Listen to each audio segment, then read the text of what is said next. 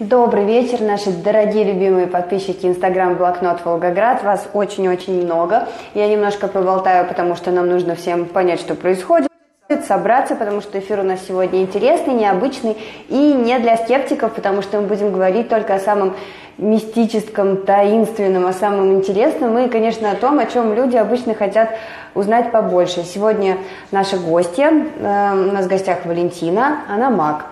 И первое, что она сделает, расскажет вам поподробнее о себе, чтобы вы уже знали, от чего вам отталкиваться, потому что, как всегда, все ваши вопросы прозвучат в прямом эфире «Блокнот Волгограда». Естественно, я буду выбирать самые интересные и уместные, потому что напомню, что у нас вопросы теоретические, практически мы тут ничего сделать не можем, как видите, мы в самой обычной студии, но перейдем к рассказу о вас. Здравствуйте. Ну, э, хотела, конечно, бы сказать о себе, чуть-чуть скажу, которые переданы мне по наследству. По наследству и как бы с нашего поколения имеются книги, книги, в которых изложены очень таинственные молитвы, заговоры, которыми я пользуюсь, и этими заговорами помогаю людям. Ну, расскажите, сколько лет вы уже этим занимаетесь? Может быть, вообще с детства? А может быть, уже в более взрослом возрасте пришли к этому? Ну, я пришла в более взрослом возрасте, не с малолетства. Э, хотя бабушка моя занималась этими всеми ритуалами и помогала людям, помогала людям. Э, при том, как я все это смотрела, смотрела, но никогда сама не пользовалась и не хотела бы даже пользоваться – да, да, да. Но по времени и по э, возможностям, тем, что в жизни происходит, мы все люди, тем не менее, как-то обращаемся к этому. В детстве, когда я наблюдала, что моя бабуля делает, да, я присматривалась и не горела желанием знать все это. Но затем, когда все припекло, когда что-то надо было мне в действительности узнать, я тоже к этому обратилась. И несмотря на то, что бабуля всегда говорила, вот именно ты будешь это все знать, я не верила, бегала, не слушала. Но когда уже сама попробовала, то почувствовала, что на самом деле я тоже самое все это могу делать. Но не из-за того, что вот это все прям вот сила такая во мне была, были книги, которые сейчас находятся у меня, и которые были у бабушки, я их просматривала. Через эти книги я и получила эту силу, эту энергию. Конечно, энергия очень мощная, и когда ее касаешься, она дает свои плоды и свои результаты. И не всем вполне понятно, что такое мистическое. Кстати, уважаемые зрители наши, мы вас запутали тут. Уже вот раз уж мы заговорили о мистическом, у нас тут что-то пошло не так. Расскажите, пожалуйста, нашим Э, читателям, нашим зрителям вообще, что такое магия, потому что, ну, понятно, вот человек, у него представление, там, я не знаю, у одного из газет, ну, условно, оракул, там, у другого он глубоко православный, он по-другому трактует. Вот как это нужно на самом деле понимать? Ну, как это понимать? Магия, магия, конечно, это сила, сила, которая заключается в каждом из нас – но не каждый знает, что может владеть тем или иным, вот, например, э, словом. Слово. Слово тоже имеет силу, слово имеет магию. Так как если мы что-то хотим сделать, да, или сказать, смотря как мы это произнесем и как мы все это скажем. Поэтому вот магия – это все вокруг нас. И как мы это воспринимаем, да? Магические действия, магические ритуалы – они значимы, опять же, повторю, для каждого человека, потому что давным-давно, издавне, каждый человек имел в себе силу знать магию. Но потом со временем это все как-то, может быть, стерлось или ушло. Вот сейчас наше будущее, да, но все равно стали как-то возвращаться опять к магии. Ведь было как-то одно время забыто вот это слово магия, потом она опять восстановилась и пошла. Сейчас, минуточку. Угу. Тем временем я напоминаю, что у нас в гостях Мак Валентина. Вы можете присылать свои вопросы. Первый я все вижу. Именно поэтому, чтобы никто не смущался, я периодически заглядываю в телефон, чтобы ничего не пропустить. В чем она заключается? Это, наверное, скорее всего, одаренные люди, которые могут э, как-то помогать людям, выходить именно э, вот, э, вот суть того, что вот э, как помочь человеку в беде, да, и человек, зная ведущие магические какие-то действия, он принимает их, предпринимает и дает помощь людям. Эта магия, вот она заключается в чем? Еще вот в чем она у нас заключается? В том, что человек, если верит в это, он всегда получит результат. Если человек вот как бы слышит слово магия, да, ну, пойду я схожу, посмотрю, что это такое, но веры нету, никогда не будет никакой помощи. Никогда не будет помощи. В любом случае связь идет, когда человек верит и идет с этим к магу или там к, э, к ведуне или к ясновидящей, ну, к любому человеку, кто одарен этими возможностями то помощь, конечно, будет реальная. Люди начинают задавать вопросы, но прежде чем мы, вот у нас спрашивают уже, можно ли изменить судьбу, но перед этим уточним про границы допустимого магии. Ну, предположим, ну вот есть бородатый анекдот, лежит мужик, у него ни денег, ни жены, в общем, все плохо, лежит, молится, говорит, Господи, ну пошли мне, пожалуйста, побольше денег. И лежит дальше. А Господь ему отвечает, мужик, ну ты хоть вот лотерейный билет купи. А вот в плане магии, вот насколько она может сделать, насколько она может быть полезна человеку, эм, ну, то есть, как бы, ее максимум, ее минимум. Ну, здесь вот опять, может быть, я повторюсь, в любом случае, это вера человека. Если он что-то задумал для себя, да, вот, например, как этот мужик, хочу денег, да, где мне их взять? Но под лежачий камень-то вода не бежит. В любом случае, ему что-то надо будет, любому человеку что-то сделать, сделать самому шаг вперед, но в то же время уверовать в то, что если кто-то его направит, направит на какие-то магические там молитвы даже, да, даст ему, он прочтет это, пойдет именно с верой, у него это получится. В любом случае вера человека в магию всегда дает успешные результаты. Самое главное верить и, конечно, ну совсем уж не бездействовать. Что-то делать, делать с верой. Если он будет сидеть и думать, что падать будет на него там звездочки золотые, он будет собирать их в ладони, такого не может быть. Потому что это волшебство, палочкой как бы это, если не волшебство, палочкой махнула, и вот это все летит на нас. Нет, к этому надо идти, этого надо добиваться, но и в то же время предпринимать те действия, если э, специалист по магии направил этого человека вот на что-то, он должен это делать. Сделает с верой, получит результат того, что он хочет. А вот тут мы переходим к вопросу о существовании, ну, говорят же, есть черная магия, есть белая магия, кто-то верит только в одну, кто-то верит в другую, кто-то говорит там, ну, условно, я не знаю, очень часто э, можно встретить, что-то говорят там, это от лукавого, а другие говорят, что нет, вот только белая магия хорошая, черная плохая. Вообще вот в чем разница, что это такое, имеет ли это вообще место быть, какое-то деление? Видите, что черная и белая магия, она всегда соприкасается, всегда соприкасается. Э, я вот, например, занимаюсь только белой магией, но приходят такие как бы работы, э, в которых ты как-то все равно краем заходишь на черную магию. И они последствия хоть та магия, хоть та. Я не хочу сказать, что магия, кто обращается к ней, что это все прям очень хорошо. Я не хочу так сказать. Если все, работа идет от А до Я правильно, читается, делается работа в действительности специалистом, она не навредит никому. Черная магия, это на самом деле от нее всегда как-то край надо идти, потому что там есть, есть последствия, очень сильные последствия, смотря на какую ступень человек хочет зайти в черной магии. Она бывает и разрушительная. Она, черная магия может быть и созидательной, созидательной, но очень редко и очень мало. А в основном она разрушительная, поэтому Здесь одно слово разрушительное имеет все, что черная магия, она вот именно имеет такие свойства негативные.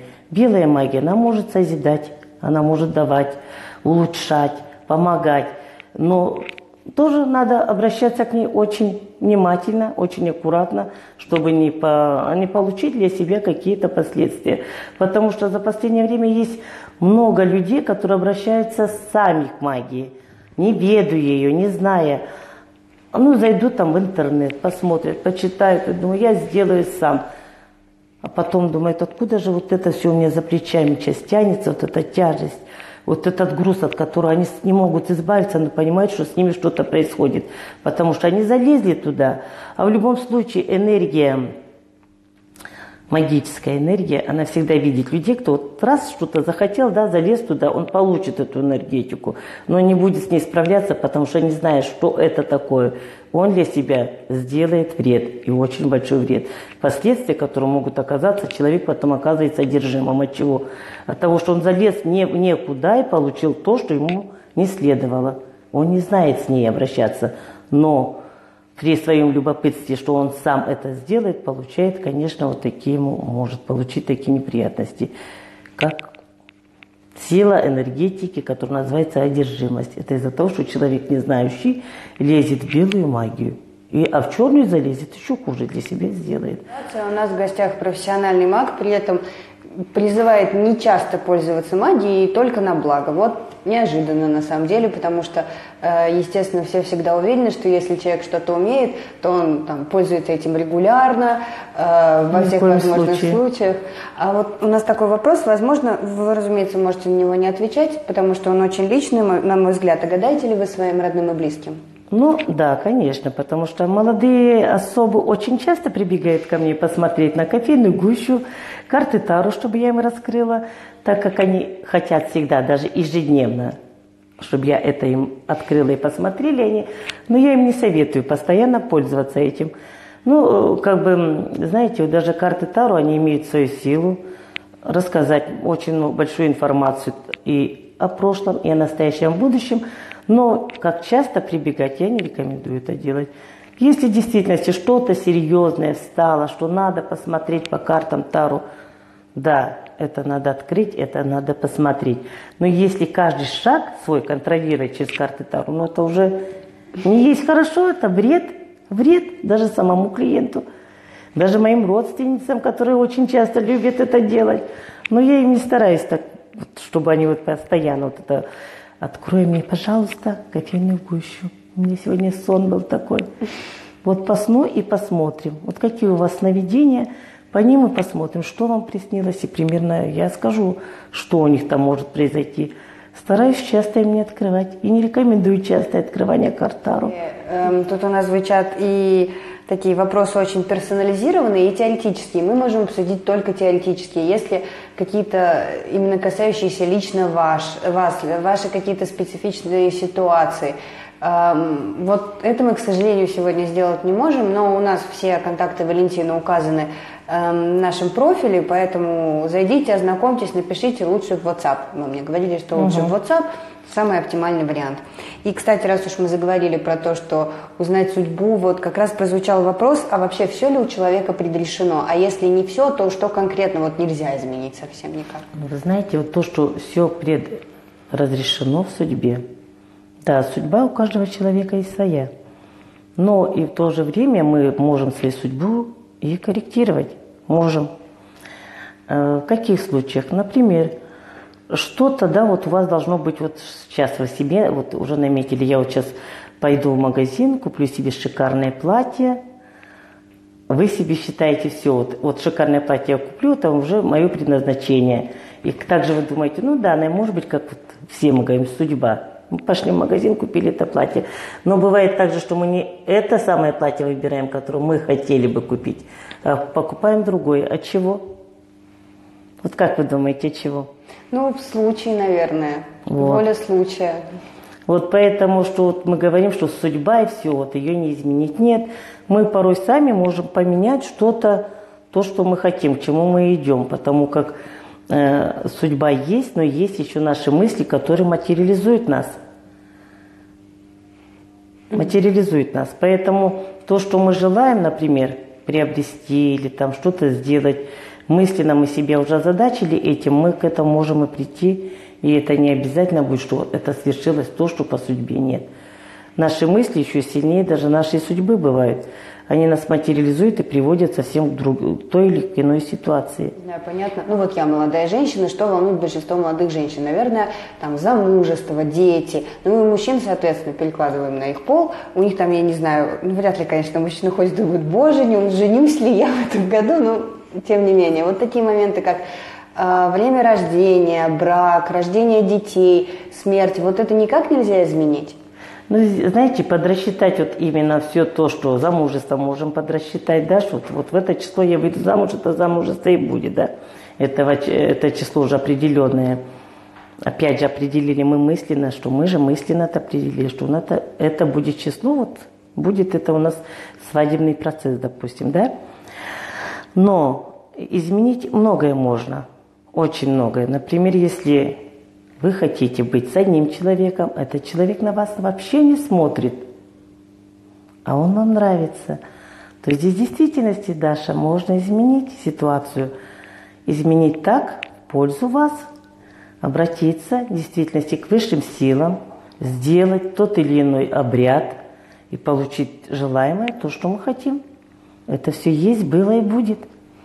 Поэтому вот изменения такие. Это не говорится, что вот прям вот все, судьба, она не вышла у нас, не получилась. Мы ее изменить можем этим путем. Часто же бывает, например, что девушка любит парня, да, он не отвечает. Или у них, например, были какие-то отношения, они разорвались по какой-то причине, да, и эта причина вот не удалась или тому, или этому человеку, или девушке, или парню, да? Можно секунду вас перебью. А если это причина соседка, ну, например, условно? Вот я, вот я про это хотела вам сейчас сказать, что, возможно, там кто-то и встал, встал между вами, а вот если это стал человек, который, да, вот хочет разрушить вашу идиллию, здесь можно побороться тем, что ее можно устранить. И устранить при помощи магии. Вот она, эта магия, которая существовала спокон веков, и она всегда будет. Была и будет. И она помогала людям воссоединиться, помогала людям найти ту любовь, которая на самом деле мимо проходит, проходит, да, вот девушка, да, у нее вот постоянно что-то не ладится, вот ребята мимо проходят, ее не видят. Вот она магия, которую можно к ней подойти с верой, получить то, что должно быть ее, не отдать другому. Условно, как говорят, история вымышленная, имена придуманные. Если есть Петя и Вася, не обижайтесь. Там, я не знаю, Петя встречался с Катей а Катя ушла от него к Васе. А вдруг вот Вася ее судьба на самом деле? Тогда Петя не сможет вернуть Катю? Ну, здесь э, тут вот для этого есть коррекция, чтобы посмотреть именно судьбу того другого человека, увидеть по судьбе или на самом деле есть пересечение их линии в жизни. Если она есть, то можно это подкорректировать. Если их, их линии расходятся, а она желает, чтобы да, вот он был только со мной, но линии жизни не сходятся, их не то, это невозможно сделать. Можно человека привязать, как бы, да, вот э, магической привязкой, но это будет насильственная, как бы, это не ответная любовь будет, насильственная, так как линии их не расхожи в их жизни, а мы их завязываем в обратную сторону. Обратная связь, она всегда имеет побочные действия, потому они будут вместе, но потом через какое-то время у них на, на, начнутся там какие-то передряги, которые будут создавать им помехи в жизни. Поэтому если в любом случае человек просит, чтобы да, я хочу быть с тем или иным человеком, надо рассматривать, есть ли пересечение по их линии жизни. Если это есть, то всегда на 100% возможна работа, которая принесет стопроцентный результат в идиллии, в идиллии. Если этой линии нет и пересечения жизни, то привязать, сделать можно, но последствия обязательно будут. Судьбе для этого зайдите в наш инстаграм, у нас там есть все контакты Валентины, и сначала выясните, стоит ли того. Нужны ли вам все эти мучения, потому ну, что ранее мы обсудили, что последствия будут прискорбными. При так? помощи только специалиста. Так я поэтому вас рекомендую. Да, который может открыть что-то им и увидеть, а что именно. Это можно смотреть по воде. Карты Тару дают информацию, кофейная гуща. Увидеть э, жизнь этого человека, его судьбу, его линию. Если на самом деле там есть какие-то возможности, чтобы эти люди были вместе, специалист всегда подскажет и сделает. Но самому вот сделать решение, да, я вот этого хочу, все. Даже грамотный специалист никогда не будет браться вот с ваших слов, например, я хочу это, это. Обязательно скажет, вы это хотите? Сначала увижу я, возможно ли это все сделать. Если возможно, я вам помогу. Потому что я сама тоже не за все работы берусь. Если я вижу, что есть смысл действительности, чтобы эта семья была в порядке, не разрушить ее, потому что частенько бывает, что сейчас в нашей жизни. Семья. Все хорошо, все благи мира возле их ног, но у него или у нее любовник или любовница. Вы сами знаете, что частенько сейчас это есть в жизни. Поэтому приходят, потом начинают как бы восстанавливать отношения или разрывать эти отношения. И говорят, все, я с ней не хочу быть, я хочу быть с той. Допустим, да? Когда я уже вижу, что там идет обман или неискреннее, неискренние их отношения, я клиенту своему это сообщаю. Не торопись с выводом, посмотри. Здесь нет искренности, здесь есть только меркантильность. Поэтому не разрывай свою семью, не ставь под угрозу именно разрыв отношений семейных. Подожди, возьми тайм-аут и посмотри, что она из себя представляет. Через некоторое время она покажет себе так и так и так. Примерно уже подсказываешь клиенту, как надо посмотреть с другой стороны на этого человека. Тогда на самом деле я очень много спасла семейной пары. Клиент приходит, просит одно, а видишь, что там совсем другое, и не идешь на поводу клиента, а именно подталкиваешь к той или другой ситуации, чтобы он рассмотрел истина, истинное лицо того человека, на кого он уже сделал акцент, например. Ну, то есть человеку, наверное, нужно самому сначала разобраться, а если уж никак не получается, обязательно поможет специалист в этой ситуации. Вот так вот часто мы с вами заблуждаемся, наверное, не только в любви, наверное, еще и в делах каких-то своих, потому что у нас очень много вопросов, как привлечь удачу. Ну, это не удивительно, потому что мы живем в очень бедном городе, и, конечно, вот хотелось бы узнать, это только специалист или, может быть, подскажете какие-то небольшие способы, которым до прихода к специалисту, допустим, если ситуация плачевная, человек хоть как-то себя может поддержать? Так, вот про наш бедный город, да?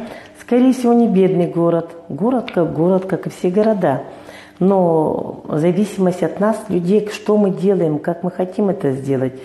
Бывает, да, желание у нас что-то сделать не получается, нет возможности, да. Мы хотим, вот что-то бьемся, не можем пробить, но надо повернуться и посмотреть, почему у нас не получается, от чего. Ведь спокон веков существовали вот такие маленькие молитвы или заговоры, когда ты выходишь, выходишь из дома и что-то ты хочешь да, сделать, ты, выйдя из дома, прочитал эту молитву, даже коротенькую, вышел, а тебе ниоткуда возьми, все идет как по маслу. От чего так? Потому что есть, они же были, эти молитвы, спокон веков, давным-давно. Их никто же не убрал вот с книг судеб, оно все это есть. Ну, конечно, кто-то ведает в этом, кто-то не ведает. Но у каждого в семье есть, вот, например, старые люди, я не знаю, что выйду я из дома, перекрест крест положу, Господи, помоги мне в моих делах. Даже так, да, и всегда Боженька услышит и поможет.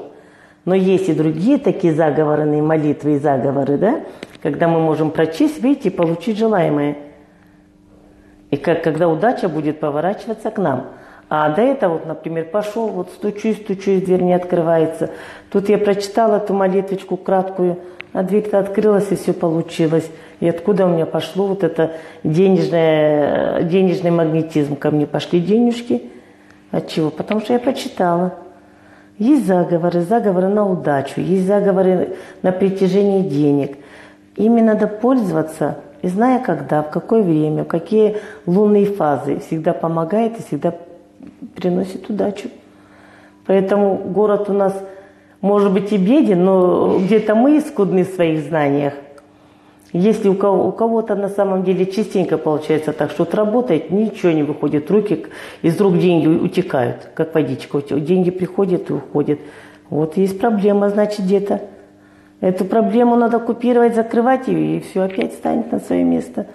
Часто же, когда человек везучий, потом раз что-то у уходит, все ничего не получается из-за того, что бывает, посмотрели на нас не так, пожелали нам спину не то. И откуда вот все, плечи понурые, у человека ничего не получается. Очень много завистников, которые даже, можно сказать, они не напрямую хотят там что-то навредить, а вот просто посмотрели, да, сглазили. Почему есть слово «сглаз»? Потому что на самом деле вот посмотрели, позавидовали, и вот этим нанесли какой-то урон человеку. Приходит домой человек, зевает, плохо ему, все. А он не знает, что с ним происходит. А его поглазили. Поглазили даже по работе, по его удаче. Вот тебе удача уходит. Потому что это есть. с глаз, плохое слово в спину, наносное слово в спину. Это не говорится, что топор сделали. Просто вот обычный человек может нанести урон другому человеку, даже не думая о том, что он это сделал. А он сделал. Потом приходим откуда? Водичку взяли, почитали, допустим, да, помыли, а эта вода соленая оказалась. Простая вода. А когда читаешь молитву на сглаженного человека, почитал, смыл, она соленая, оказывается, от чего? Потому что стоял большой сглаз. Незаметно откуда взялся, но он был. Он дал помехи, он дал человеку как бы, то, что у него ничего не получается. Все, он спотыкается из-за того, что сглазили. Вот, вот такой маленький сглаз может такие проблемы нанести. Ну, в общем, все, все очень плохо финансово, и вы как-то не знаете уже, как исправить эту ситуацию. Я вам настоятельно рекомендую зайти в инстаграм блокнота Волгограда, потому что там размещены контакты Валентины, и писать лучше на WhatsApp, потому что, ну, так удобнее, так привычнее, и вообще WhatsApp очень удобная вещь у нас как бы прогресс, нам уже не нужно никуда ехать спешить, всегда можно договориться и заранее все с вами обсудить, правильно? Конечно, предварительная запись. А тут, кстати, задают вот такой каверзный вопрос, помогаете ли вы злым людям? Не могу вот полностью расшифровать авторскую интенцию, что тут нам хотел сказать автор, но, видимо, с какой-то, наверное, дурной просьбой приходит, может быть, кому-нибудь навредить, или, может быть, человек сам по себе не очень хороший, многим сделал зла, но теперь себе хочет хорошо. Будете ли вы ему ну, помогать? Видите, сейчас я в прямом эфире, но, скорее всего, может, даже этот человек меня и видит, но я скажу примерно то, что у меня была такая ситуация. Конечно, пришел ко мне на личный прием мужчина. Он военный. Ну и примерно, когда ко мне приходят клиенты, я их сразу вижу, кто и что, с чем они приходят. Он зашел, очень был в таком состоянии воинственном, как бы, ну вот что ты знаешь? расскажешь ли ты мне то, что я хочу? Он ничего-то не сказал, мысленно в глазах это все я его прочла. Но я сказала ему, садитесь, садитесь и успокойтесь. Что вы так взволнованы? Он говорит, я пришел к вам посмотреть, что вы мне сможете помочь или нет. И я хочу наказать одну женщину. Я, конечно, выслушала его. Я говорю, ну давайте мы разберемся с вами, в чем причина, почему вы ее хотите наказать. Ну и как, пока я с ним разговаривала, я смотрела, наблюдала за ним, посмотрела, что он весь, весь, вот понимаете, на эмоциях. Если даже сейчас ему что-то не скажи, эмоции выйдут из края. Под контроль, э, как бы потеряет контроль над собой человек. Конечно, у меня личный кабинет, я сижу, вот он напротив меня. Сергей его звали. Угу. Сергей, да. мы сейчас все расскажем. И вот я Сергею сказала, что Сергей, дорогой, успокойтесь. Сейчас в данный момент ваши эмоции перехлестнули ваши мысли. Ваш разум сейчас не работает. Я сейчас посмотрю, в чем причина, как вы, что вы хотите сделать. Да, он запросил, чтобы эту женщину я бы как бы увела по черной магии. Конечно, я открыла карты Тару, посмотрела все, что там у них произошло, рассказала ему что это жена его брата, сильно ему на самом деле навредила. Навредила через магию. Она разрушила полностью его как бы мужское и самолюбие, мужскую силу, все. Он, он стал просто человек в оболочке и всего лишь. Она, да, пользовалась черной магией, она им, ему навредила этим. Затем, когда я посмотрела всю суть этого, чего-то все произошло, нашла причину – сказала ему, вы понимаете, вы многое время ее своим характером, своим характером как бы э, гнобили, вы ее поставили вот в это состояние, чтобы она против вас стала, она, да, сделала этот обряд. И в обряде, когда они раска... Э, как бы поругались, она все рассказала, что да, я сделала тебе то-то, то-то, и ты жить теперь не будешь.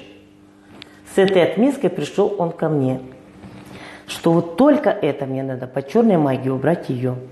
И, в принципе, по тому, как мы с ним общались, как мы с ним поговорили, я его увела именно от этого. Я не стала, я к черной магии тоже не очень сильно люблю обращаться, стараюсь в редких случаях не подходить. Но что хочу сказать, если Сергей сейчас даже меня видит, он, наверное, тоже поблагодарит меня за это, что я его от этого полностью вывела, во-первых, с этого состояния, что на него было наведенное. сделала мир, мир в их семье, потому что они даже с этой женщиной, со снохой, это сноха его, подружились. И она потом тоже ко мне пришла, как бы то, что она делала, чтобы я помогла убрать это подчистую. И вот это зло, которое в нем сидело, и хотел этот заказ сделать, у него прям как канул в воду. Он понял, что на эту тропинку вставать не надо ни в коем случае. И также поправил ее, свою сноху, что вот как бы, может быть, там маленечко усовествовал ее. Она тоже это поняла. И на приеме на моем, когда она у меня была, тоже я это подвела, что ни в коем случае больше к этому не касайся, у тебя дети. А черной магии всегда отговариваю. Вот так, человек вам зло, а вы ему конфетку. Вот конфетку на самом деле, потому что навредить всегда навредить можно, но снять этот вред очень тяжело. Простого этот обряд провел, но когда потом убирать его, снимать этот негатив очень тяжело. Долгое время для этого надо будет, чтобы кого убрать вот черную порчу. Если черная работа сделана, она снимается очень-очень долго и очень трудоемко. Тут вот девушка Зоя спрашивает, а возможно ли консультация на расстоянии, если я в другом городе? Расстояние не имеет никакого значения, если какой-то конкретный вопрос мы его рассматриваем, решаем, и также провожу весь обряд или ритуал какой-то на расстоянии, который имеет такой же эффект, как бы и на личном приеме. Вот, ну, людям, конечно, хочется узнать о каких-то домашних обрядах, которые они могут, ну вот, ну, понятно, что не у каждого есть возможность прямо сейчас к вам обратиться. Может быть, кто-то запланировал, но сейчас ситуация тяжелая. Ну, вот я вижу, что действительно спрашивают и про стоимость приема, и все остальное. Господа, у нас все-таки публичный прямой эфир, потому что у людей много вопросов, мы ничего не успеваем. У нас есть контакты Валентины. А, вы напишите, пожалуйста, обратитесь, и вот какие-то такие личные вопросы уже с ней. Сейчас мы возвращаемся к нашим теоретическим вопросам. Ну вот э, что они могут сделать дома до того, как прийти к вам? Ведь есть же ну, там в любой культуре, ну просто ни о какой, кроме русской, к сожалению, сказать не могу. Ну там подковы те же самые, орнаменты делали, вышивки на полотенцах, на окнах, на всем на свете. А, а вот сейчас в современном мире что-то такое возможно и действительно ли оно работает? Ну, так скажу вам, Даша, что на самом деле, что и издавне, да, что издавне вот были вот эти все приметы, они работали. И в данный момент вот в нашей жизни тоже очень много примет, когда мы можем выходить из дома, что-то сказать, какие-то, например, три слова, которые нам будут нас нести, и с нами все будет хорошо. Есть и предметы, которые можно с собой тоже брать, наговоренные тоже будут защищать нас везде и всюду. Все это есть, все это есть, и как бы оно несет, несет именно как бы сохраненность человека. Ну, то есть человек может сходить к вам с каким-то предметом, который вы заговорите, он будет носить его постоянно, и там на регулярной основе, допустим, если у него напряженная работа или какие-то другие обстоятельства, он может не прибегать к помощи магии. Обереги, которые, например, мастер наговорил, этот оберег носит клиент, да? И он всегда будет защищать. Например, я делаю обереги на камне, всегда камень. Камень, который идет вот именно по вашему по вашей жизни, у каждого человека есть свой камень. Наговоренный камень, он и защищает, он и несет как бы и удачу, на что наговорено, да? И если кто-то даже вам вредит, даже вот возьмем этот простой же глаз, камень начинает иметь маленькую трещинку. Он берет все на себя, камень имеет свойство как бы притягивать вот это негативное, а человека защищает. Поэтому Обереги, они, как всегда, были и будут, смотря только на что наговорено. Есть камень, есть, например, даже булавочка, которая тоже будет нести защиту для нас. Любой предмет, который человек, например, любит, или там браслетик, что-то вы для себя носите, можно наговорить, который будет как защита. Как защита будет спасатель, ваш спасатель. Давайте завершим. Э, у нас просто кончается время. Какой-нибудь доброй такой темой, потому что всех у нас есть папы, мамы, бабушки, дедушки, и, к сожалению, часто ну, мы с ними уже не рядом. А можно ли как-то эм, почувствовать, связаться со своими умершими родственниками? Ведь когда человек умер, действительно, ну на что еще уповать, кроме э, магического? Ну просто больше не на, не на что, а очень хочется быть с ними рядом. Возможно ли это? Ну, знаете, как я ему вот в, это, в этом вопросе отвечу? Дело в том, что к нам ко всем приходят сны, да? И во сне мы можем увидеть своих родственников умерших. И они обязательно к нам придут с помощью, с какой-то помощью, с подсказкой. Только мы должны быть внимательны к этому сну и его как бы разгадать. Вот с чем там пришла бабушка к нам во сне, да? Возможно, она приснилась нам от чего-то нас предостеречь. Предостеречь. Внимательно рассмотреть свой сон, не пропустить через руку его, через окно. Мы всегда получим ту или иную информацию именно от умерших родственников, потому что приходя к нам во сне, или, возможно, даже такой и наяву приходит, то они нам как несут защиту или какую-то подсказку, как есть. Это всегда правило такое. Пришли умершие да, во сне нам – наяву даже, когда приходят, они приходят с защитой или подсказкой, что где-то человек должен себя в чем-то или остановить, или на, наоборот перейти эту грань. Поэтому эти подсказки, они очень должны быть внимательны для нас. Но не все мы к этому прислушиваемся, да? Вот. Поэтому в любом случае надо быть внимательным самому себе и к тому, что мы видим. Ну, знаете, как вы вызывать, э, Даша, вот эти умершие души. Ну, то есть это уже вот то, про то, про что я говорила, границы вот этого э, магии, волшебства, энергии, уже это, к сожалению, не получится, как я понимаю. Оно есть. Оно было и есть, и будет всегда. Но вызывать души, вызывать души, да, вот, например, бабушку хочу я вызвать, мы, конечно, ее маленечко побеспокоим, эту душу, да, и потом за это тоже будем нести какую-то ответственность. Но если это необходимо что-то узнать нам, вот пропал человек, да? И бывает такое, что вот, кому я обращусь? Я делаю такой обряд, вызываю, вызываю души. Души родственников или мертвых. Кто мне может это рассказать? Это идет, например, такой обряд связан с ручкой, с дверной, с окном и с душой умерших. Делаешь этот обряд, очень сильный ритуал, полночь делается, вызываешь ты эту душу, разговариваешь с ней, и она тебе подсказывает, где вот, например, на чем вопрос стоит, на этом вопросе будет конкретный ответ. Есть такое все есть, да? Спасибо вам большое. Очень интересный эфир, который, к сожалению, у нас технически уже завершается. Спасибо вам большое, что были с нами. Я еще раз напоминаю, что у нас была в гостях Валентина, специалист в области магии. Если вы хотите задать какой-то свой личный вопрос, или, к сожалению, я за обилием ваших комментариев не увидела или не прочитала ваш вопрос, э, обязательно обратитесь к Валентине. Все контакты есть у нас в инстаграме блокнота Волгограда. Желательно писать на WhatsApp. Всего вам доброго, хорошего. Мы, увы, выключаемся. Всего доброго.